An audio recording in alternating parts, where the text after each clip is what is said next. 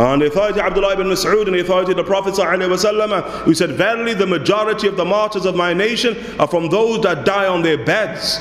God knows best as to the intention of many of those that are killed in battle. Subhanallah. The majority of my martyrs are Ashabul Furush. The major Ashabul Furush, they just die of natural causes, quote unquote, inside of their bed. Yawm al Qiyamah, they raised as shuhada and Allah, martyrs with Allah subhanahu wa ta'ala. Why? The niyyah, the intention that they held, sadiqa lillah, sincerely for the sake of Allah subhanahu wa ta'ala. And that's an intention that we all have to have. You know, one of the great Imams, saying Abu Bakr bin Salim, when he said, Allahumma nis'aluka ziyadatan fi deen wa barakat al-umar, wa sihhatan fil jasad, wa si'atan fil rizq, wa tawbatan qabla al-maut, wa shahadatan 'inda al-maut. Look at the dua of the great Imam, asking Allah ta'ala for shahada, martyrdom at the point of death. It doesn't necessarily mean in the ranks on a battlefield. Just that Allah subhanahu wa ta'ala knows how sincere he was in that dua that he made. That when Allah subhanahu wa ta'ala to create the correct means, then he would be found wherever Allah subhanahu wa ta'ala wants to find him. That's Imams, Rasikhuna. And the Prophet said, the one who doesn't hold that intention about Shahada, that intention in their heart and dies. Look at his words. They die the death of Jahiliyyah. The Prophet says, they die the death of the days of ignorance. They're the niyas that we have to hold. And then leave it to Allah Ta'ala to create context or not create context. Biyadillah. That's in the hands of Allah subhanahu wa ta'ala. But just as Allah Ta'ala has commanded us with things on the limbs, He's commanded us with things inside of the great thing, inside of the heart in and of itself. Huh? Tayyib.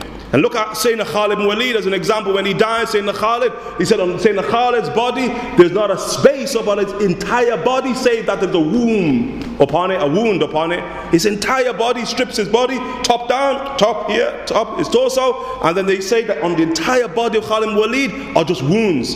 And Khalid Walid on his deathbed, he said, I wish that I would have died on the battlefield. Okay, you're hit on every part of your body and Allah subhanahu wa ta'ala, Allah ta'ala doesn't will it. Khalid dies on his, on his bed. Natural causes, Sayyidina Khalid, radiallahu ta'ala anhu warda. Uh, but our good opinion, min shuhada. He's from the martyrs of Allah subhanahu wa ta'ala. Why? He's telling you at the end of his life, his niyyah, his intention, what his intention was, radiallahu anhu warda. But the sir, as the ulama say, is Sayf Allah Maslul. He's done sheath sword of Allah Ta'ala. Allah Ta'ala's sword cannot be broken on the battlefield. No? Cannot be broken on the battlefield as it wasn't with Sayyidina Khalid Walid, rahimahullah ta'ala. But then the opposite we see is that Sahaba radiallahu anhu, a Sahaba radiallahu anhu, who this, when he dies, they find him dead. The Sahaba yani, quote unquote, boasting about the fact that he's attained martyrdom with Allah Ta'ala. And the Prophet says, Kayfa araf, how do you know where he's at inside of the next world. Huh? Another of them, the mother of somebody who'd been killed in battle, is after she finds out her son has, has died in front of the Rasul that she's proclaiming, My son is in paradise. And the Prophet said, how do you know where your son is? You don't know the nature of his intention. You don't know the nature of the acts that he did which may have negated intentions. The Prophet said, Kayf. Uh-huh the difficulty of the whole affair. The Messenger of God وسلم, said, Whoever awakens with the conscious intention not to wrong anybody will be forgiven for whatever wrong he commits. Ah.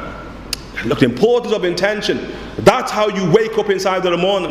Like some of us who, who memorize and say, inshallah ta'ala, the dua of Al Ghazali, first thing in the morning. What is it about? That you're not the cause of harm to anybody or to any Muslim and that no Muslim becomes the cause of harm to you. These are the first niyat intentions that you should have inside the morning, the Rasul is saying. And thereafter, khalas, biyadillah, it's in the hands of Allah subhanahu wa ta'ala.